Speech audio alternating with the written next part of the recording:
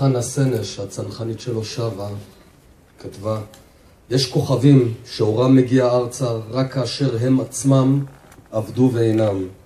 שבע שנים אחרי שאתה אינך, האור שלך, הערכים שלך, הדרך שלך, לא רק שהיא ממשיכה, משנה לשנה היא מתחזקת. משנה לשנה יש עוד ילד, עוד בית ספר, עוד שכבה שנחשפים לדרך שלך והולכים בדרך שלך.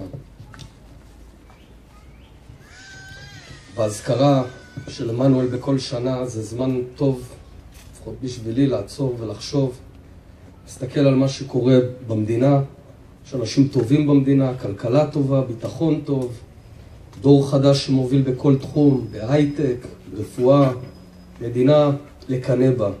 אבל יש משהו חסר, זה כמו גוש בלב שיושב לי, אולי יושב לכולנו פה, ואני רוצה לקרוא לזה במילה אחת, חסר לנו עמנואל. אבל אני לא רק מתכוון לעמנואל עצמו, אני אגיע אל עמנואל עצמו עוד רגע, אני מדבר על הרוח של עמנואל. עמנואל היה שותף למבצעים רבים שלעולם לעולם לא ייחשפו, והסיפורים כבר מוכרים, הם עוברים מפה לאוזן, והוא היום מודל לחיקוי לדורות רבים. ב-1994 עמנואל השתתף במבצע מיוחד לחטיפתו של מוסטפא דיראני, ראש תנועת אמל בלבנון. הוא נכתב במסגרת המאמצים להשיג מידע על הנווט רון ארד.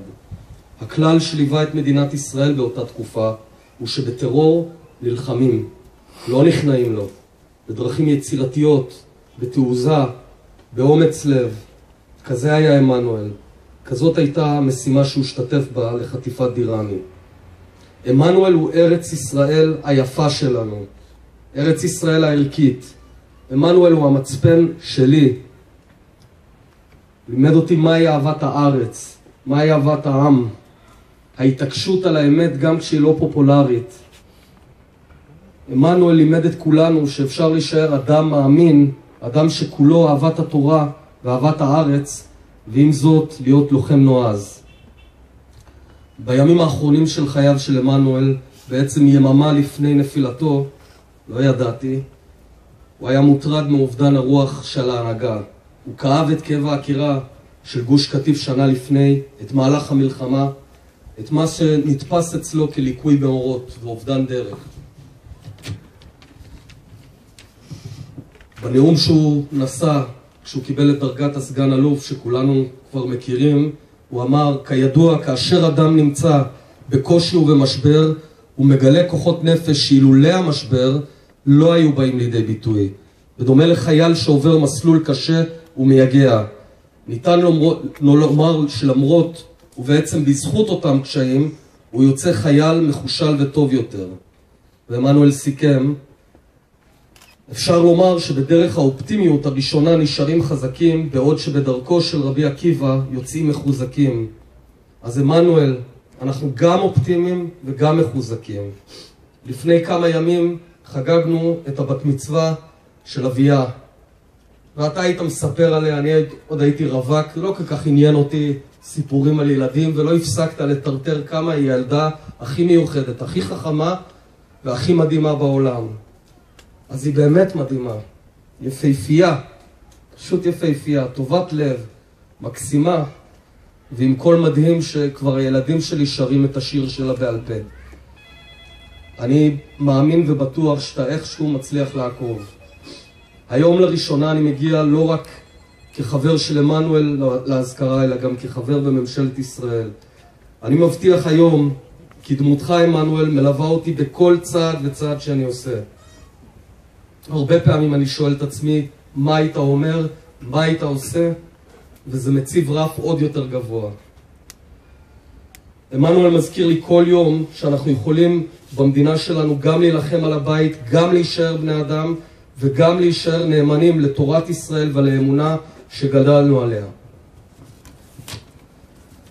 ההחלטה השבוע על שחרור מחבלים רוצחים, החלטה קשה שמנוגדת לכל החינוך שקיבלנו בצה"ל כולו וביחידה בפרט, חינוך שאומר שאין פשרות במלחמה בטרור הרצחני. היא רגע נוסף של משבר, משבר מהסוג עליו דיבר עמנואל. עכשיו מוטל עלינו לדאוג לכך שגם מהמשברים האלה עם ישראל יגלה כוחות נפש חדשים. כוחות נפש שלעיתים קשה יותר למצוא אותם מאשר כוחות הגוף. לעמוד עמידה איתנה מול כל אלו, מבית מחוץ, שדורשים גם בעצם הימים הללו ממדינת ישראל להתכחש לערכים של ארץ ישראל, לערכים של ההיסטוריה היהודית, ולקרוע מאיתנו חלקי מולדת, כולל יישובים. מלחמת לבנון השנייה קו פרשת מים ערכי של מדינת ישראל.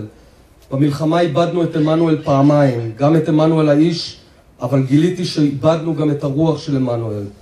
מדינת ישראל שלחה את מיטב בנינו למלחמה שאין צודקת ממנה, והיא הייתה שעון מעורר ערכי לכולנו. המלחמה הזאת ונפילת עמנואל גרמה לי לשנות את מסלול חיי, להיכנס לחיים ציבוריים. המלחמה גם גרמה לפניית פרסה ביחס של צה"ל להיערכות למערכות העתידיות. אני מבטיח לך, עמנואל, אנחנו ממשיכים להאמין. אנחנו ממשיכים לאהוב את הארץ שלנו. אנחנו יודעים שזה יהיה לא קל, אבל אתה לימדת אותנו מסירות מהי. אנחנו לעולם לא נהיה שותפים למהלכים שיסכנו את הארץ שלנו. עמנואל, אני מבטיח לך שאחרי לכתך אתה אדם שהכי חי בתוכי. יהי זכרך ברוך. תודה רבה. אנחנו uh, ניגשים ליד שרה.